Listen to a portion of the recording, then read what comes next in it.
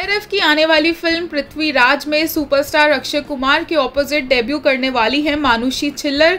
अपने आप को खुशकिस्मत मानती है। मानुषी छिल्लर, उनका कहना है, अक्षय सर के साथ सेट पर काम करने की बात से मैं काफ़ी एक्साइटेड थी, क्योंकि मैंने उससे बहुत कुछ सीखा है। सुपरस्टार अक्षय कुमार ने वाईआरएफ के बिग बजट एंटरटेनर पृथ्वीराज की शूटिंग स्टार्ट कर दी है। ये फ़िल्म बड़े ही दिलेर और बहादुर राजा पृथ्वीराज चौहान की ज़िंदगी और उनकी वीरता पर आधारित है।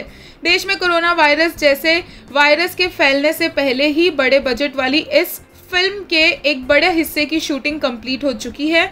वाईआरएफ ने इस फ़िल्म के बाकी हिस्से की शूटिंग को पूरे करने के लिए वाईआरएफ स्टूडियोज कंपाउंड के अंदर ही एक भव्य और बेजोड़ सेट तैयार कर दिया है।